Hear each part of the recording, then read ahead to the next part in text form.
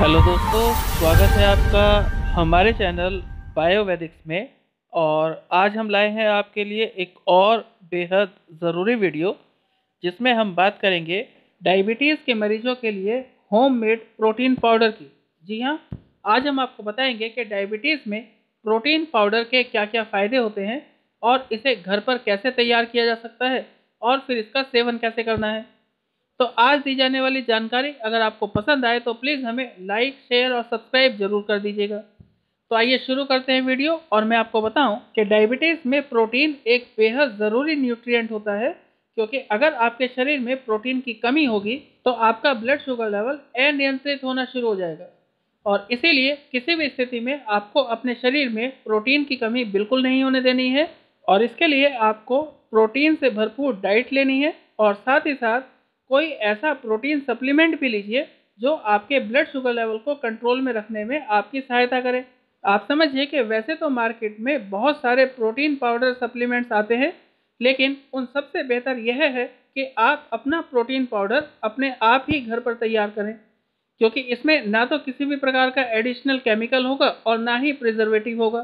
तो आइए जान लेते हैं कि डायबिटीज़ में लाभदायक ये प्रोटीन पाउडर आप घर पर कैसे तैयार कर सकते हैं। तो सबसे पहले आप समझिए कि घर पर प्रोटीन पाउडर बनाने के लिए आपको चार चीज़ें चाहिए होंगी।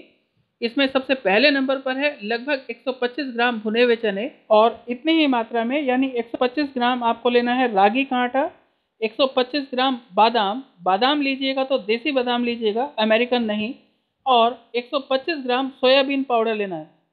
यानी इतनी मात्रा में जब आप इन चारों चीज़ों को लेंगे तो इससे जो पाउडर बनेगा वो 500 ग्राम बनेगा और इस 500 ग्राम पाउडर को आपको किसी भी स्थिति में 10 दिन में ख़त्म कर लेना है। क्योंकि ये होममेड पाउडर है, इसलिए आपको इसे समय रहते ख़त्म करना है और सीमित मात्रा में खाना है। तो आप समझिए कि पाउडर बनाने के लिए सबसे पहले भुने हुए चनों को, ये जो भुने चने हैं, ये छिलके वाले भुने चने लेने हैं। तो इन भुने हुए चनों को मिक्सी में पीस लीजिए और बारीक पाउडर बना लीजिए। और फिर इसके बाद ऐसे ही बादाम को भी पीस कर पाउडर बना लीजिए और फिर सोयाबीन पाउडर जो मार्केट से मिला है उसको भी बारीक ग्राइंड कर लीजिए मिक्सी में। और फिर रागी का आटा जो आपके पास है, उसे अच्छी तरह से भून लीजिए। और फिर भूनकर इन चारों चीज़ों को आपस में मिक्स कर दीजिए।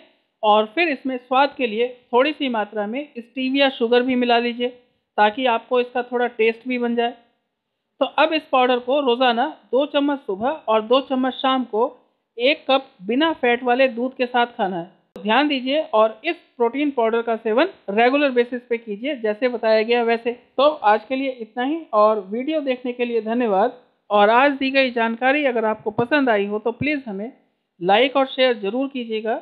और अगर आप हमारे चैनल पर नए हैं तो प्लीज़ हमें सब्सक्राइब भी करें।